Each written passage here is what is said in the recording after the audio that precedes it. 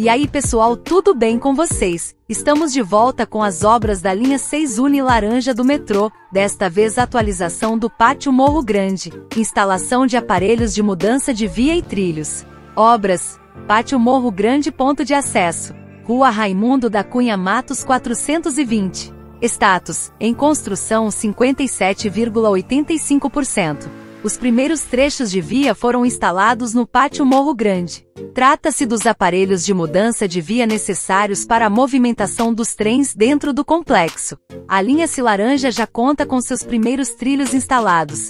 Características dos aparelhos de mudança de via. Desde já dá um joinha, compartilhe e se inscreva no canal, e não esqueça de acionar o sininho. O Pátio Morro Grande receberá mais de 6,3 quilômetros de trilhos, incluindo os 28 AMVS, aparelhos de mudança de via. Cada unidade do AMV possui um comprimento total de 19,8 metros e conta com dormentes de concreto para via permanente. Projeto das vias do Pátio Morro Grande. As vias do Pátio Morro Grande foram projetadas visando a segurança operacional na movimentação dos trens. Elas permitem as movimentações durante o recolhimento para manutenções programadas e limpeza diária, além do despacho dos trens para via operacional através do futuro CCO. O pátio está sendo construído em uma antiga pedreira desativada.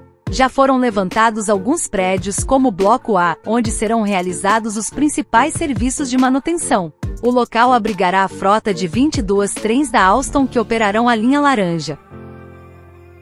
Se você gostou do nosso trabalho, e se puder colaborar com o canal, aí está o Pix do canal. Meu muito obrigado a todos. Futuro Parque Morro Grande Além do pátio está prevista a implantação do Parque Morro Grande na área verde adjacente. O parque contará com mais de 213 mil metros quadrados e incluirá o Centro de Controle Operacional, CCO. O túnel. O túnel está sendo escavado usando o Natron New Austrian Tunneling Method com o uso de explosivos. Há duas frentes de escavação se movendo em direções opostas uma em direção à outra. Mais de 900 metros de túneis já foram escavados. A conclusão da ligação do túnel é iminente, restando apenas alguns metros para a interligação. Impacto no cronograma de entrega.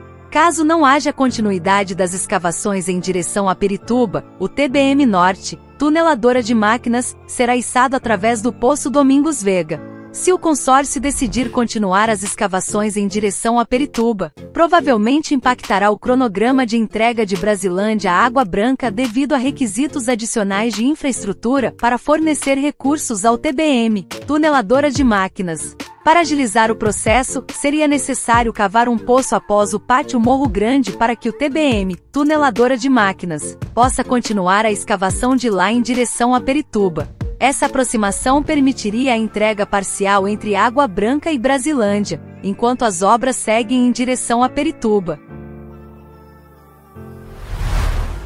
Desde já dá um joinha, compartilhe e se inscreva no canal, e não esqueça de acionar o sininho. É isso aí pessoal, fiquem com essas lindas imagens da região, para mais obras e atualização, se inscreva no canal, e muito obrigado a todos.